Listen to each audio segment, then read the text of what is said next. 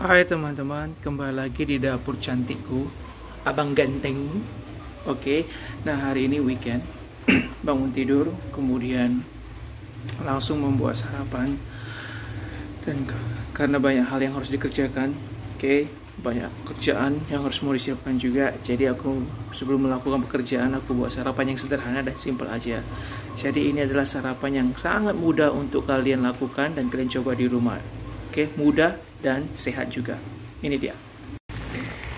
Jadi sarapan pagiku yaitu salad brokoli dengan bun dengan apa ini? Pete Cina. Oke, jadi ini direbus. Tapi cara melakukannya, kalian harus didihkan dulu airnya. Setelah kalian didihkan airnya, baru kalian rebus hanya sekitar 5 menit. Nah, kalau udah warnanya hijau, hijau cerah seperti ini, kalian rebus di di direbus, oke. Okay. Kemudian matikan. Nah, bumbunya untuk bumbunya untuk ini itu sederhana aja, nggak mudah. Aku menggunakan mayonnaise, mayonnaise light maestro, oke, okay, yang kurang lemak. Dan kemudian aku menggunakan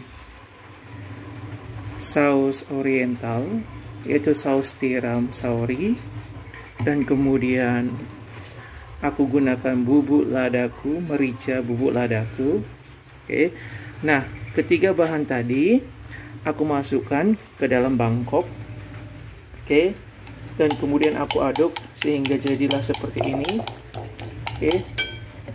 Untuk saus sauri ini hanya satu sendok makan aja kalian kalian tuangkan ukurannya satu sendok makan sementara untuk mayonnaise itu tergantung selera kalian secukupnya aja karena walaupun kalian sudah buat seperti ini sudah rasanya sudah enak nanti sudah sudah terasa mayonnaise-nya. Jadi nggak usah terlalu banyak. Bisalah itu sekitar 3 sendok 3 sama atau 4 sendok makan oke? Okay? dan kemudian untuk lada secukupnya kalian kalau kalau kalian suka spicy pedas bisa banyak.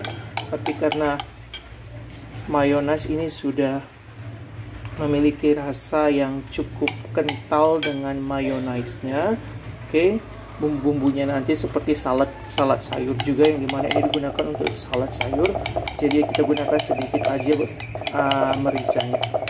Oke, okay. setelah bumbunya kalian aduk, jadilah dia seperti ini warnanya agak kecoklatan. Oke. Okay. Sebenarnya warna mayonnaise itu berwarna putih. Dilihat dari covernya kan dia berwarna putih. Hanya saja dia aku campur dengan sauri tadi jadi warnanya seperti ini.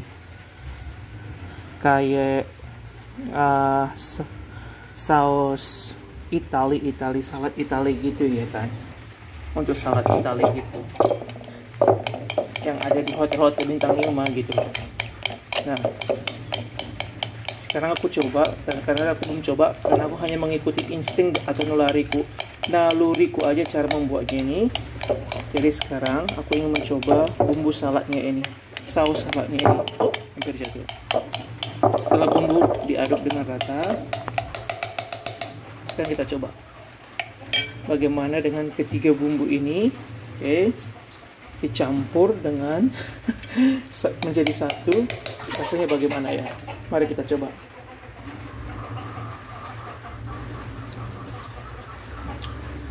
Mantap. Enak banget banget bumbu saladnya enak. Oke. Okay. enak banget banget dah oke.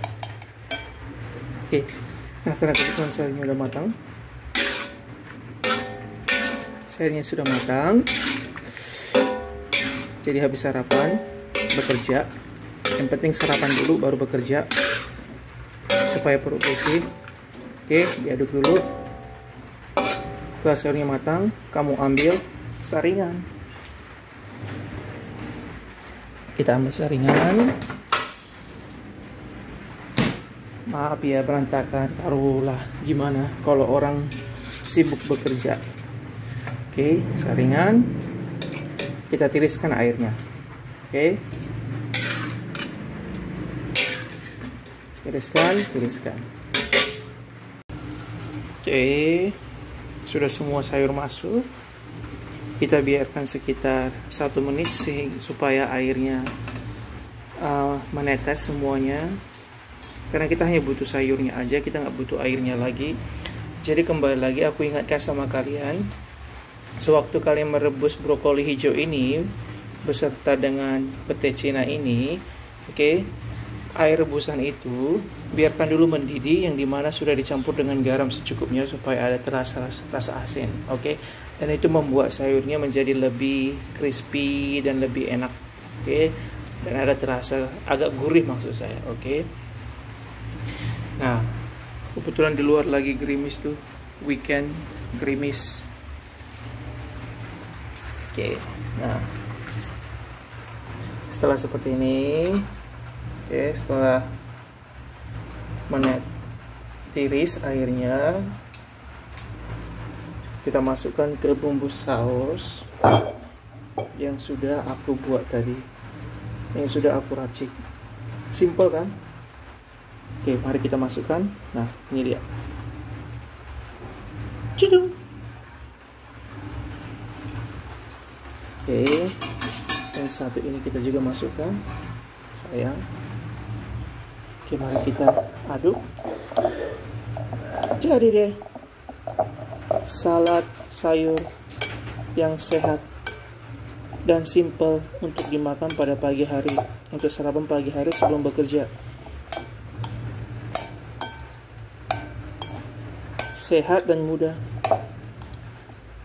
nah kelihatannya ini kurang nih kurang pepper mericanya sebenarnya kalau ada black pepper ini lebih enak lagi. Cuman aku nggak stok black pepper di rumah. Karena belum sempat berbelanja ke supermarket. Maklumlah sibuk bekerja untuk mencari sesuap nasi. Oke kita tambahkan aja ladaku oke tambahkan aja dan gak usah terlalu banyak. Nanti jadi rasa lada nanti dia nya jadi rasa merica. Oke uh mantap banget nih. Nah. Setelah diaduk aduk aduk aduk aduk rata diaduk rata ya teman-temannya jadi ini masakan yang paling mudah simple. Bagaimana aku terinspirasi untuk memasak ini aku juga nggak tahu. Seperti yang aku bilang sama kalian bila ada sesuatu hal yang ada di kulkas bahan-bahan yang di mana bisa aku masak entah kenapa otak aku langsung bisa berpikir untuk mengolah bahan-bahan tersebut untuk menjadi makanan yang bisa dimakan dan sehat juga.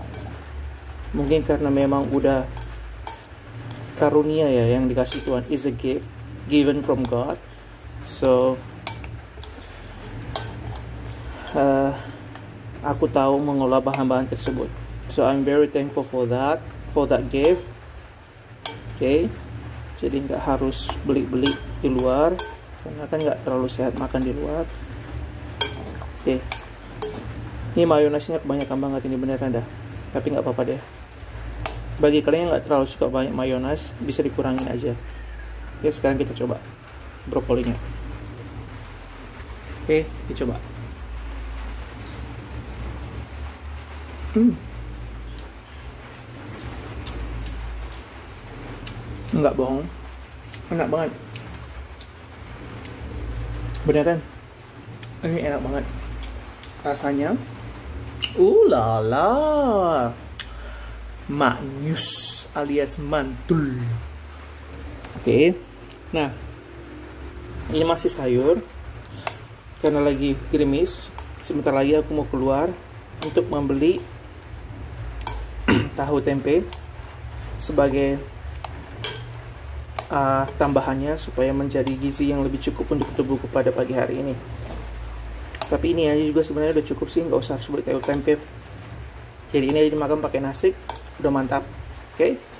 oke okay, jadi itu aja tutorial untuk sarapan weekend pada pagi hari ini ya. Semoga itu bermanfaat buat kalian. Dan selamat bekerja meskipun itu weekend.